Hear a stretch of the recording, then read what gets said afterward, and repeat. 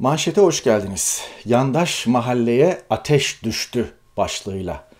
Bugün karşınızdayız. Elbette bununla alakalı analizimizi yapacağız. Siyasette son yaşananlara e, bakacağız. Neyin tartışıldığı, neyin tartışılmadığı, neyin yasak alan olduğu gibi konulara gireceğiz. Ve elbette muhalefetin de en az iktidar kadar sorumlu olduğunu, hemen her konuda onu da anlatmaya çalışacağız bugünkü yayında örnekleriyle. Fakat ondan önce sıra gelmeyeceğini bildiğim için Profesör Doktor Naci Görür'ün yaklaşan İstanbul depremine ilişkin şu tweetlerini hatırlatacağım bir kere daha tarihe kayıt düşmek maksadıyla. Büyük İstanbul depreminden 99-17 Ağustos bugüne 22 yılı geride bıraktık. 23. senenin içindeyiz. Ve İstanbul depremi geliyor, geliyor gelmekte olan. Evet yakın zamanda orman yangınlarıyla, yakın zamanda pek çok noktada sel afetiyle mücadele etti Türkiye veya mücadele etmeye çalıştı veya mücadele ediyor göründü. Türkiye afetlerle sınanıyor, afet Allah'ın takdiridir, geldiğinde yapacak bir şey yoktur gibi e, bir takım beylik söylemler söz konusu olabilir. Elbette afetler karşısında çaresiz kalındığı da vaki, vakidir. Yani Amerika'da kasırgaya karşı eyaletler çaresiz kalıyor ve yılda birkaç kere çeşitli noktalarda patlıyor bu. E, Avrupa'da sel felaketleri olduğunda dünyanın gelişmiş devletleri yakın zamanda Almanya örneğinde olduğu gibi çaresiz kalabiliyor. Elbette bir takım afetlerde siz insan yapısı ne yaparsanız yapın, nasıl kentler inşa etmiş olursanız olun, nasıl köprüler, nasıl evler, nasıl binalar dikmiş olursanız olun, mukavemeti, dayanıklılığı olmayabilir ve bir noktadan sonra afet o kadar güçlüdür ki alır götürür. Fakat sizin başbakanınız oraya gider ve 30 milyar euro desteği açıklıyorum ve bunu yapacağız diyebilir. Mesela Angela Merkel. En son Almanya'da sel bölgesine gitti ve böyle söyledi ki seçim telaşı yaşayan, ondan sonra işte yeniden başbakan olmak falan gibi bir derdi kalmayan biri Angela Merkel. Bir anda tak diye güçlü ekonomisi 30 milyar euro, 30 milyar eurodan bahsediyorum. Euroyu TL ile de çarpın görürsünüz rakamı. Böyle bir desteği açıklayabiliyor o ülkenin başbakanı. Sizde bunlar var mı? Hayır. Siz IBAN, IBAN neyse hesabı verip insanlardan yardım istiyorsunuz. Tıpkı afetler gibi benzeri. Tıpkı e, pandemi riski gibi. Her gün e, Sağlık Bakanlığı verileriyle 250-300 arasında insan hayatını kaybediyor Türkiye'de. Ve Sinovac aşısının hikaye olduğu ortaya çıktı. Ve Sinovac aşısı artık kabul edilmiyor. Zaten dünyada tanımıyor. Ondan sonra uygulanacak aşıların e, bir koruması, bir korumacılığı söz konusu olabilir. Öbür taraftan da bir aşı karşıtlığı almış başını gidiyor ve bu bir sosyal medya e, erozyonu veya sosyal medya manipülasyonu da değil. Pek çok e, Türkiye'de yayın yapan iktidara yakın kanallarda da aşı karşıtlığı üzerine yayınlar, programlar yapılıyor. Zaten aşı yok. İnsanlar bir doz, iki doz aşı vurulmak istediğinde. İki, bunun da önüne geçmek için veya işte tuhaf bir biçimde aşı karşıtlığı lobileri iktidara yakın kanallarda falan devrede. Sonuç 250 ila 300 kişi ölüyor Türkiye'de. Ve bu henüz Eylül başı rakamları. Kasım aralığın ne getireceğini bilmiyoruz. Bir de böyle bir dert var. Ekonomik kriz gibi bir dert var ki şu anda fakirleşmenin, alım gücünün düşmesinin, şunun bunun e, çok daha başlangıç aşamasında olduğunu ekonomistler ifade ediyor. Önümüzdeki ayların neler getireceğini bilmiyoruz. Ve artık yandaş yazarlar da ki birazdan bakacağız, pahalılığa, enflasyona dikkat çekiyorlar. Birkaç gün önceki market fiyatlarıyla birkaç gün sonraki market fiyatlarının bile birbirini tutmadığını söylüyorlar. Etiketler sürekli yenileniyor. İstanbul'da kira fiyatları belli semtlerde yüzde yüz. Araç fiyatlarına girmiyorum bile. Hiçbir donanımı olmayan, içine teyp bile konulmamış arabaların TikTok videolarında görüyoruz 200 bin, 200 binin üzerinde TL'ye satıldığı falan paylaşılıyor. Bomboş donanımsız arabalar. Dönelim Profesör Doktor Naci Görür'e ki Naci Görür 1999 Marmara depremiyle kamuoyunun tanıdığı ve kamuoyunun Türkiye kamuoyunun büyük ölçüde e, itibar ettiği bir bilim insanı. Arkadaşlar bir seri tweetle İstanbul'un depreme hazırlanması konusunda görüşlerimi özetleyeceğim. Devamlı sorup duruyorlar. Bir, deprem öncesi durum saptama. Kent 7.2, 7.6 büyüklükte deprem bekliyor. Yapı stoku büyük ölçüde deprem dirençli değil. Halk deprem konusunda yeterince bilinçli değil. Kentsel dönüşüm çalışmaları genellikle deprem odaklı değil ve operasyonda halk da pek yok. Çevre koşulları itibariyle depreme hazır değil. 2. Depreme hazırlık. Bunun için tüm kent bileşenlerinde hazırlık yapılmalı. Kent bileşenleri yönetim, halk, alt, altyapı, yapı stoku, çevre ve ekonomidir. Deprem öncesinde yönetim deprem tehlike analizini, risk yönetimi analizini ve afet yönetimi çalışmalarını yaparak hazır olmalıdır. Deprem sonrasında da afeti en etkin şekilde yönetmelidir. Halk depremi nasıl karşılaması konusunda bilinçlendirilmelidir. Kentin tüm altyapısı, yol, köprü, tünel, baraj, kanalizasyon, su, doğalgaz şebekeleri ve, ve bunun gibi deprem öncesi elden geçirilmeli, deprem dirençli hale getirilmelidir. Deprem sonrası bu yapılar hızla kontrol edilip tamir edilmeli, kentteki yapı stoku en riskli yerlerden başlayarak elden geçirilmeli, deprem dirençsiz olanlar güvenli hale getirilmelidir. Bu işin içinde halk da olmalı, onlara uzun süreli ve düşük faizli kredi sağlanarak teşvik edilmelidir. Benzer tarama deprem sonrası yapılmalı ve binalar güçlendirilmelidir. Depremin aynı zamanda bir çevre felaketine dönüşmemesi için deprem molozlarının nasıl ve nereye döküleceği ve geri kazanım için ne yapılacağı önceden planlanmalıdır. Bunların bertarafı için akarsu, göl, denizler asla düşünülmemelidir. Tehlikeli atıkların depremde çevreye saçılmaması için deprem öncesi önlem alınmalıdır. Ve en son tweet'i ve en vurucu Beklenen deprem Marmara bölgesini ekonomik açıdan devre dışı bırakabilir. Bu da tüm ülkenin krize girmesi demektir. Tüm iş dünyası ekip ve ekipmanlarını deprem güvenli hale getirmeli, devre dışı kalmamak için önlem almalıdır. Hoca saygısından ebilir, abilir, olabilirli cümleler kurmuş ama öyle olacak. Marmara bölgesi ekonomik açıdan çökecek. Ekonomik açıdan Marmara bölgesinin başta İstanbul olarak çökmesi bütün Türkiye'nin çökmesi manasına gelecek. Elbette yıkılan onca bina ve onun altında kalan insanlar ve kurtarma çabaları ve kurtarma faaliyetindeki organizasyonluk falan düşünmek bile istemiyorum. 22-23 senede ne yapıldı? Koca bir hiç. Koca bir hiç. Bir kere daha ta- tarihe kayıt düşelim. Yani testi kırılmadan yapılan uyarılar bunlar. Yarın öbür gün deprem olduğunda, başka bir afet olduğunda ay dere yoluna ev yapmayacaktık. Ay bu binaları güçlendirseydik keşke. İşte efendim dikey değil yatay yapılaşma önemli. Bundan sonra buna hız vereceğiz falan gibi şeylere gerek yok. 25 sene neredeyse kulağının üstüne yatmış bir yönetim İstanbul, Marmara depremi beklenirken ve işte Türkiye'deki diğer afetlerin yönetimi ortadayken. Geliyor gelmekte olan. Şimdi dönelim yandaş mahalleye ateş düştü meselesine. E, TR724'ten okuyorum. Cem Küçük ve Ahmet Hakan'ın endişesi e, e, boşuna değil demiş bir haber inceleme haberi ki son derece önemli. Yusuf Dereli imzalı. Yandaş medyanın tetikçi yazarlarından Cem Küçük önceki gün çok önemli bir konuyu Türkiye gazetesindeki köşesine taşıdı. Marketlerdeki fiyatların yüksekliğinden yakınan Küçük, 200-300 TL veriyorsunuz. Aldıklarınız 4 kişilik bir aileye belki bir hafta bile yetmiyor. Demem o ki marketler ateş pahası.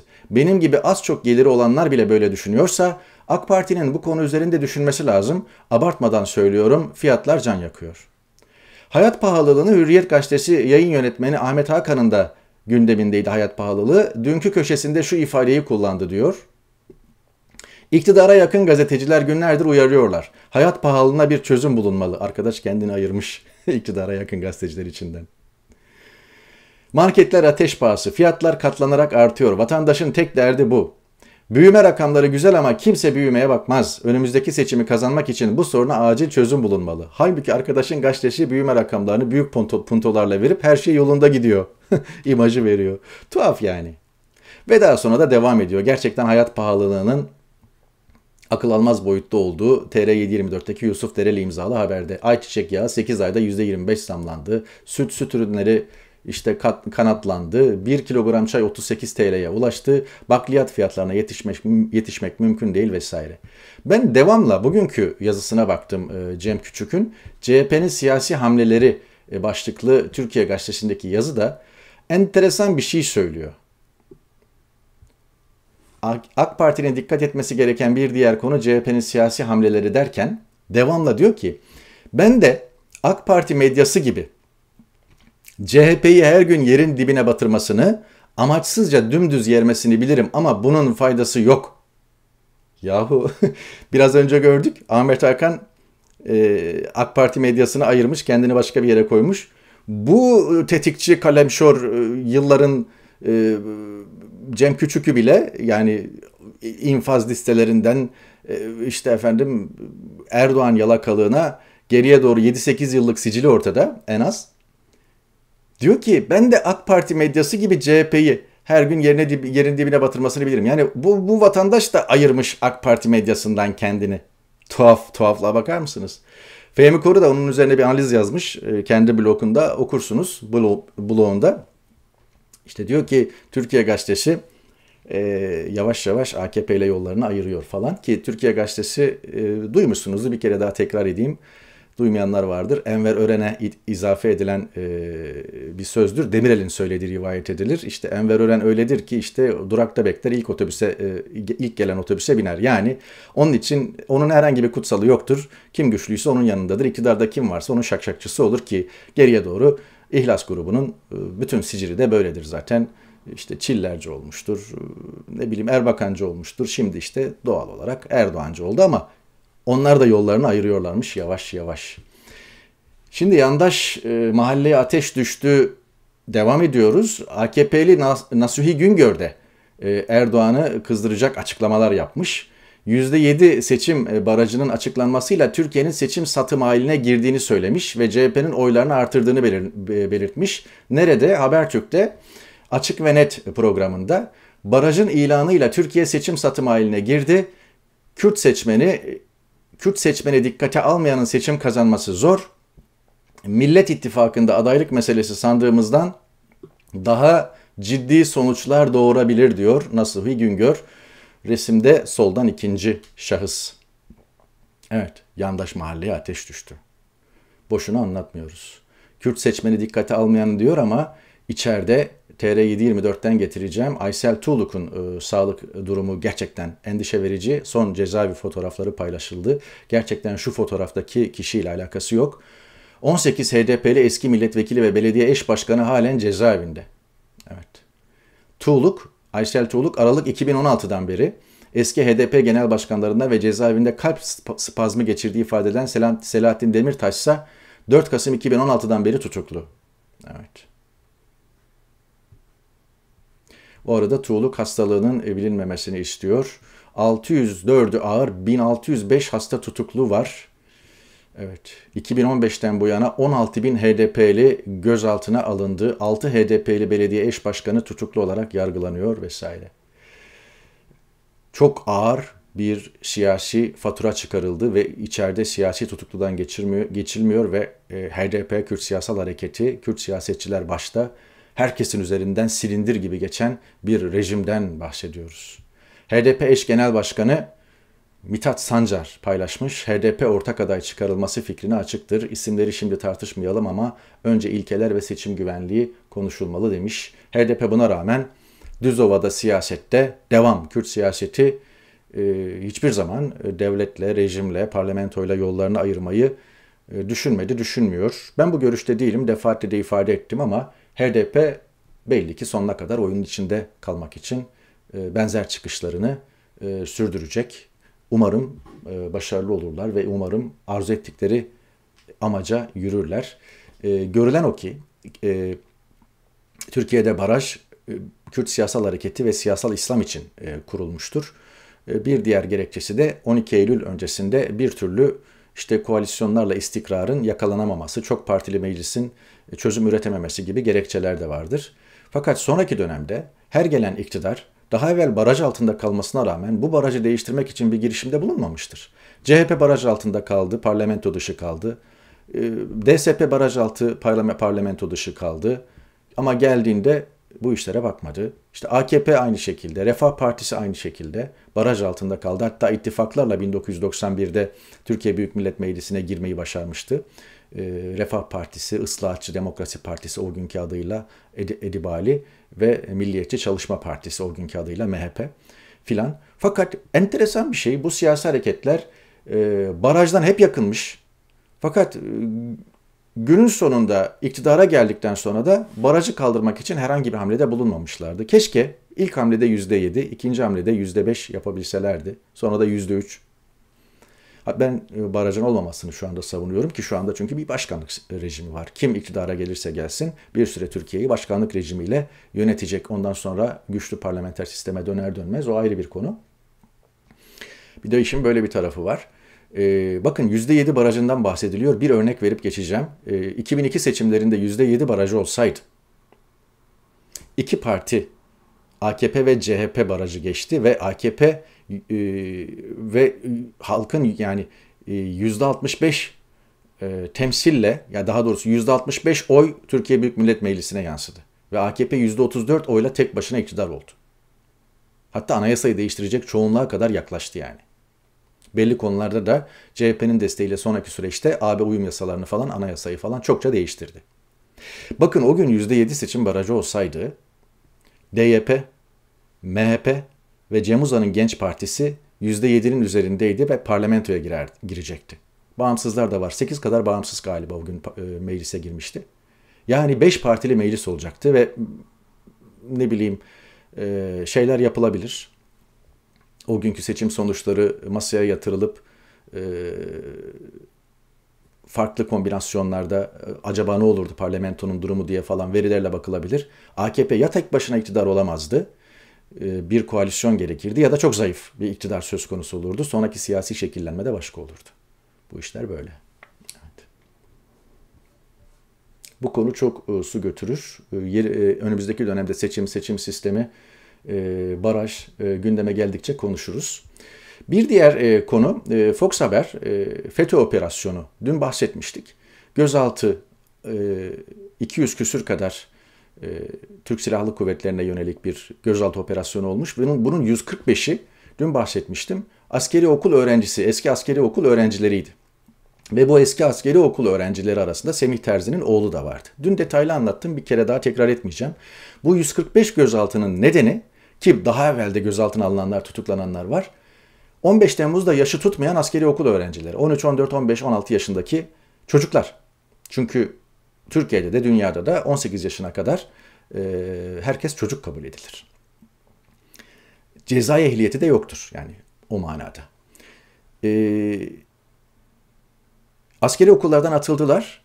Daha sonra da haklarında herhangi bir işlem yapılmadı. Belki soruşturma vardı bilmiyoruz veya rafa kaldırılmıştı. Fakat yaşları tuttukça bu çocuklar tutuklanıyor. Yani 15 Temmuz'dan 5 sene sonra o gün 13-14 yaşında olanlar şimdi 18-19 yaşına gelince ah cezai ehliyeti var teker teker gözaltına alınıyor ve tutuklanıyor. Semih Terzi'nin ki Semih Terzi Diyarbakır'dan hava sahası kapalı olmasına rağmen Özel Kuvvetler Komutanı Zekai Aksakallı'nın talimatıyla gelmiş Ankara'ya ve e, Ömer Halis Demir'e vurdurtulmuş, öldürtülmüş bir isim. Ömer Halis Demir de daha sonra başka biri tarafından öldürüldü vesaire. Sonraki hikayeyi biliyorsunuz. Ne aksakallı bu konuda konuştu ne başka bir şey. Ama Semih Terzi'nin eşi tutuklandı.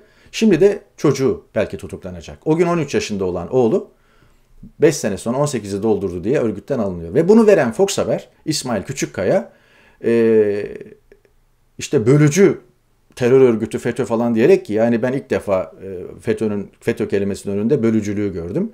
Ağızlarına ne gelirse söylüyorlar. İşte darbeci Semih Terzi'nin oğlu da var falan diyerek kararı e, bir anlamda şey yapıyor.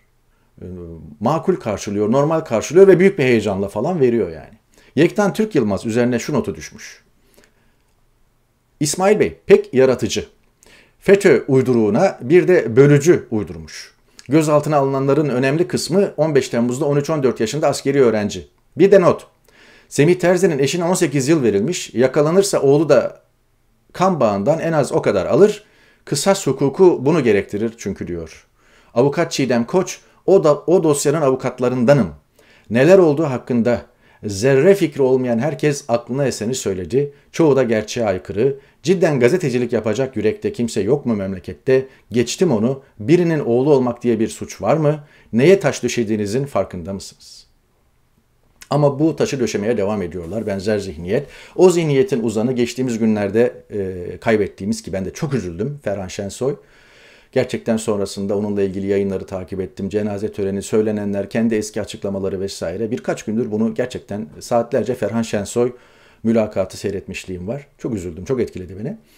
Ee, Oda TV bir video koymuş. Videonun kapağı bu. FETÖ Şan Tiyatrosu'nu neden yakmıştı? Şan Tiyatrosu'nun yakılması 1987. Orada Ferhan Şensoy ve arkadaşlarının, orta oyuncuların oynadığı veya sahneye koyduğu bir oyundan dolayı işte tepkiler oluyor falan. Oyunun bilmem kaçıncı gösteriminden sonra da orada bir yangın çıkıyor filan. 1987 yahu. Yani ellerinden gelse geriye doğru e, her şeyi buraya bağlayacaklar. Ayrıca videoyu seyrettim, açtım baktım içinde Şan Tiyatrosu'nu FETÖ neden yakmıştı, FETÖ nasıl yaktı bununla ilgili tek satır yok. İşte ama bu algılarla yürüyor. O arada unutturulan şeyler. Uykusuzun kapağı çok güzel. Erdoğan'ın Rize'deki bir açılışı, açılış sırasında yanındaki çocuklarla kurduğu iletişim gündem oldu. Anne soruyor çocuğa doğru söyle arkadaşınla mı kavga ettin? Açılışa gittim diyorum ya diyor. Evet. Çocuğun kafasında Erdoğan'ın nok nok nok morartması var. Leman'ın e, yeni kapağı da son derece çarpıcı. İdil'de Mihraç Miroğlu adında 7 yaşında bir çocuk bisikletiyle oynarken zırhlı aracın çarpması sonucu yaşamını yitirdi. Bugüne kadar onlarca çocuğun zırhlı araç e, kurbanı olması kahrediyor. E, işte zırhlı araçta konuşuyor. E, polisler dikkat et sağda bisikletli bir çocuk var ve üstünden geçiyor artık yok. Türkiye. O arada daha adil bir dünya filan Erdoğan'ın kitabı DNR'da bütün vitrine konmuş durumda. Daha adil bir dünya. Çocukların ölmediği bir dünya falan diye de kitabın anonsunu yapıyorlar yani. Akıl alır gibi değil. Hep söyleniyor, anlatılıyor bu rejimin taşları nasıl döşendi. Bakın e, ben bunu yer yer eleştiriyorum. Analizlerle de yazılarla da ortaya koyuyorum. 2002'deki ee, kırılmayı biraz önce anlattım. %7 ee, baraj olsaydı ne olurdu? Ee, ve hangi koşullarda AKP iktidara geldi vesaire. İşte sonrasında 2007'de bir kırılma var. Türkiye Büyük Millet Meclisi'ne Cumhurbaşkanı seçtirmeyen e, bir e, ortam vardı Anayasa Mahkemesi'yle falan. Anayasa Mahkemesi'nin başkanı Tülay Tuğcu'ydu. Cumhurbaşkanı Ahmet Necdet Sezer'di. Öncesinde e, Cumhuriyet mitingleri vardı. Ordu göreve pankartları falan açılmıştı. AKP'nin oyları 2007 e, e-muhtıra sürecine gelindiğinde %28-30 bandındaydı. Bu Erdoğan'a takdim edilen anketlerde de böyleydi. Fakat 2007 Nisan'daki o müthiş kırılma ve daha sonra madem meclise seçtirmiyorsunuz Cumhurbaşkanı biz de halk halka seçtiririz deyip anayasa değişikliği yapıldı. Ve o anayasa değişikliği 2007'de e, oylanarak %60 küsur oyla yürürlüğe girdi ve Tayyip Erdoğan onun mahsulü şu anda. Yani geriye doğru bir şey arıyorsanız bu köşe dönemeçlerine bakacaksınız. 2007'de Türkiye Büyük Millet Meclisi'ne seçtirilmeyen Cumhurbaşkanı sonrasında ne yapacak siyaset? O zaman halk seçsin dedi. Anayasa değişikliği yapıldı ve anayasa değişikliğiyle Cumhurbaşkanı'nı halk seçti. Ne zaman? Abdullah Gül'ün görev süresi bittikten sonra. Ne çabuk unutuyoruz. Bir başka şey. Biraz daha geriye götüreyim sizi. Bu İstanbul Büyükşehir Belediye Başkanlığı seçim sonuçları. 1994 ve Recep Tayyip Erdoğan %25 oyla seçildi. Bakın burada oy oranları, hangi partinin kimler adayıydı hepsi görülüyor.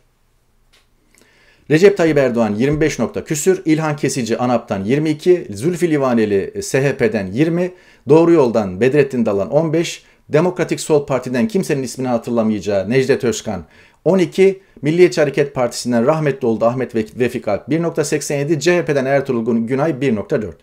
O gün 3 sol partinin adaylarını toplasanız 35'i geçiyor. Yine ana vatanla doğru yol bir araya gelse ana vatanla doğru yol bir araya gelse, bir araya gelse 37'yi buluyor. Tamam siyasette her zaman 2 artı 2 4 etmez ama Recep Tayyip Erdoğan böyle bir tablodan sıyrılarak adeta bütün bu birbirine girmiş sağ sol siyasetinde aradan çıkarak İstanbul Büyükşehir Belediye Başkanı oldu. Bugünlerin taşları o gün döşendi. O yönü itibariyle de. Ama hiç kimse dönüp de kendini sorgulamıyor, sorgulama gereği duymuyor.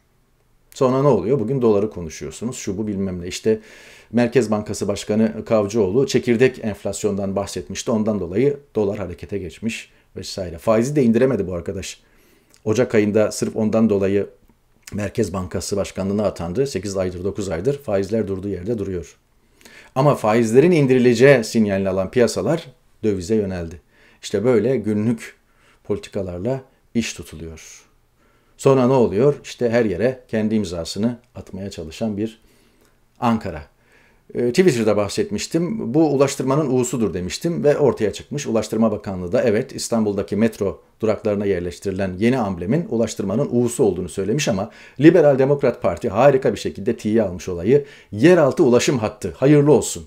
Yuh şeyle baş harfleri yeraltı ulaşım hattının e, baş harfleriyle yuh çekmiş. Gayet de güzel ironik olmuş. Evet hayırlı uğurlu olsun ne diyelim yani. Böylelikle yandaş mahalleye ateş düştü. Başlıklı e, manşetimizi bugün de noktalıyoruz. Bir sonraki yayında görüşmek umuduyla hoşçakalın.